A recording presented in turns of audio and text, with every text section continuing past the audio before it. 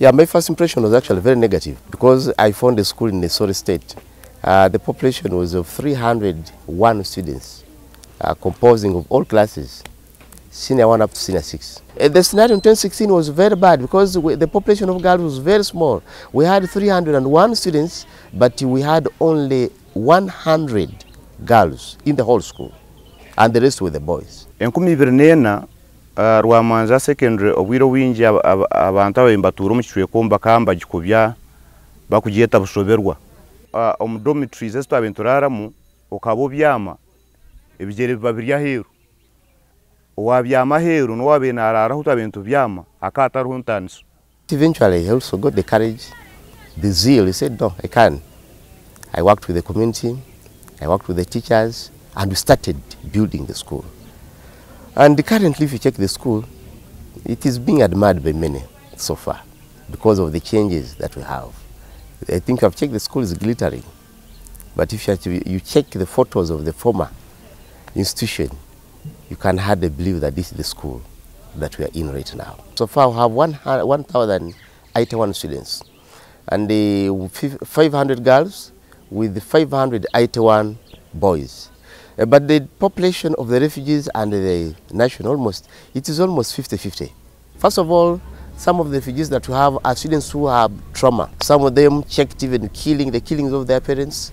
So we have the, so many counseling sessions here. Do prepare them, then after preparing them, we enroll them in school. Then I was 14. They register you as unaccompanied, and when they came here, when you reach here, they have shelters where they put you. Now, when you tell them like you have ever gone to school, it's their job now to find out in which class you have been in Congo. Then they see the way they can equate the thing. If you are like in senior two, then they say how they can compensate, and you be like in senior one. teachers are helping us. Already I have a first, I have a, because I, ha, I got a first grade, I already have a scholarship and a bursary, school bursary. parents contribute on food and really that one has saved us because the food store is very okay.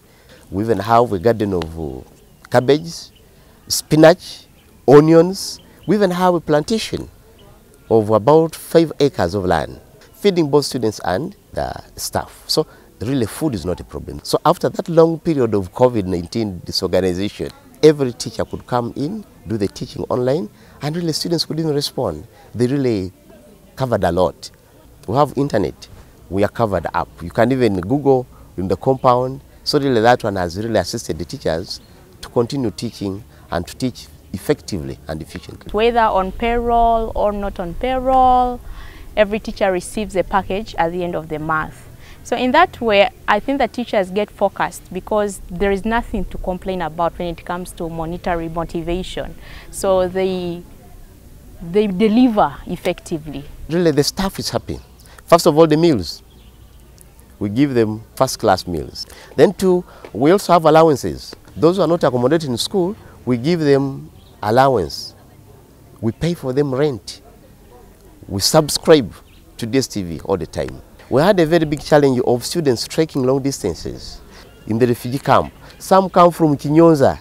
Students used to reach school, especially girls, used to reach school very late.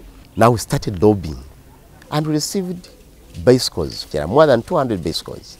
Students come, they park, especially those who come from long distances, and the girls. So we gave all the girls base bicycles. They ride school. It has assisted even keeping the girl child in school.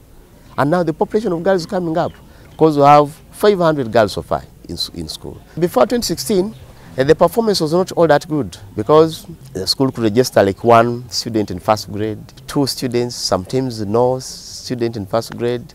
Now there is a change. There is a very big change. At least we are receiving now students first grade. We have seven and above. And with the A level, we also produce the best students in the district. Even last time, the best student in senior four had 16 points, and was among the best. And we are very sure that with time, if we continue like this, we shall have also another big school in Kamwenge here called Rwamwanja Secondary School. That is much more admirable with so many parents.